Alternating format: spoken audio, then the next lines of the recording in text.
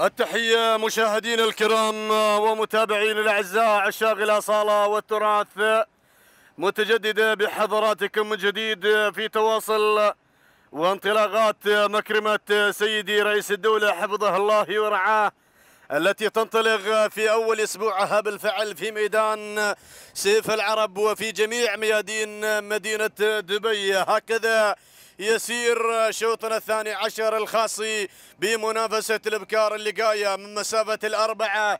كيلومترات في هذا الصباح في هذا اليوم الجميل ينطلق شوط الختام وشوط الوداع اللي يحمل في طيات مشاهدينا الكرام 27 شعارا منافسا من أجل انتزاع ناموس هذا الشوط.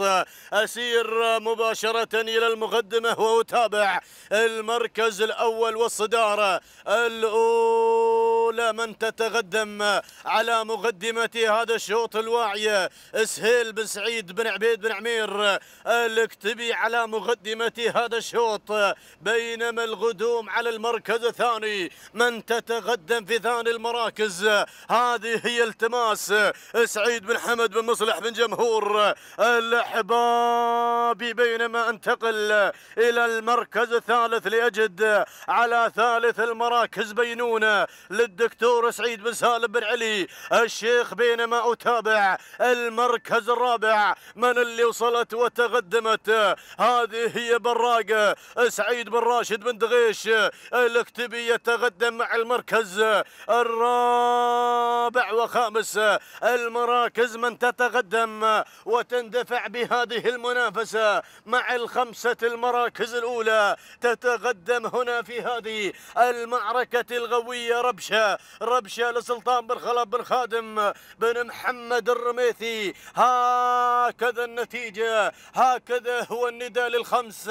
المراكز الأولى ذعنا لمسامعكم هذه الأسماء هذه الشعارات المختلفة بألوانها الحاضرة في هذا اليوم. من أجل انتزاع ناموس مشرف في صباح هذا اليوم في ميدان سيف العرب أحد الأفرع التابعة لميدان المرموم ميادين السباقات في مدينة دبي. ولكن العودة العودة إلى المقدمة العودة إلى الصراع إلى النزاع في مقدمة هذا الشوط. من تسللت وغيرت إلى المركز الأول هذه هي براقة براقة براقة سعيد بن راشد بن دغيش الاكتبية يتقدم على المقدمة الأولى. يسيطر ويتسيد بالمشاركين على المقدمة الأولى بالصدارة بينما هنا أيضا شاعر حواس الخمسة يقدم أيضا بداية ظهوره في بداية هذا الموسم الجميل. يقدم لنا هذه الاندفاع. يقدم لنا التماس. التماس تتقدم بشعار سعيد بن حمد بن مصلح الأحبابي. يندفع أبو هادي في بداية هذا الموسم. بينما في المركز الثالث هذه هي أيضا تتقدم بينونة بينونة للدكتور سعيد بن سالم. بن علي الشيخ يتقدم في المركز الثالث بينما الأسماء الواصلة من تتقدم في المركز الرابع. الله! ربشة ربشة ربشة ربشة ربشة. في كيلو والربشة في كيلو الامتحان. سلطان بن خلف بن خادم الرميثي يتقدم على مستوى المركز الرابع ولكن أهالي ميدان أبو سمرة أوصلوا في هذه اللحظات.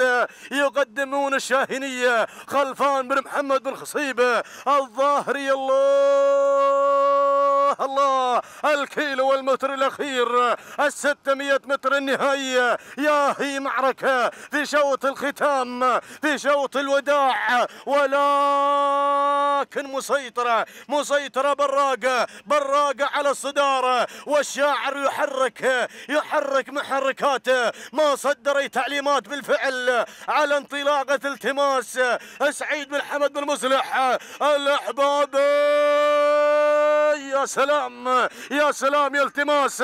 التماس وهنا براقة براقة وربشة ربشة والتماس وبراقة في معركة في الأمتار الأخيرة في معركة في الأمتار النهائية. ولكن براقة براقة على الصدارة. ربشة تحاول براقة المسيطرة براقة المسيطرة. ربشة وبراقة براقة وربشة. الرميثي وبنت بنت غيش اللحظات الأخيرة. ولكن للمرة الرابعة للمرة الرابعة إلى هال السمحة. تهانينا لسلطان بن خلف بن خادم الرميثي على هذا الفوز بينما أوصلت في مشاهدينا الكرام براقة في المركز الثاني سعيد براج بن غيش المركز الثالث التماس سعيد بن حمد بن مصلح الأحبابي والمركز الرابع كان الوصول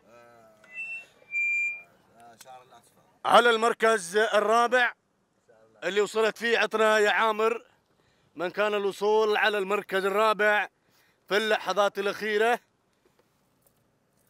الشاهينية خلفان بن محمد بن خصيب الظاهري هو من احتل المركز الرابع. هكذا مشاهدينا الكرام ومتابعينا الأعزاء النتيجة للأربعة المراكز الأولى. تهنئتنا والناموس نزفها إلى مالكي براقة التي أما مالكي ربشة التي انتزعت ناموس هذا الشوط. توقيت الزمني ست دقائق وتسعة عشر ثانية تهانينا للسلطان بن خلف بن خادم الرميثي على فوزه. بالنقطة الرابعة أربعة أشواط من أصل 12 شوطا في هذا اليوم ينتزعها آه، أيضا سلطان بن خلف بن خادم الرميثي. لكم التحية هال السمحة؟ هكذا مشاهدينا الكرام نصل إلى الختام. آه، يسرنا أن نهني جميع الفائزين في أشواط صباحي هذا اليوم وحظ نوفر لمن لا يحلفه الحظ في أشواط هذا اليوم. فنتمنى التوفيق للجميع مع آه، أيضا يوم الغد بإذن الله تعالى مع انطلاقة سن الإذاع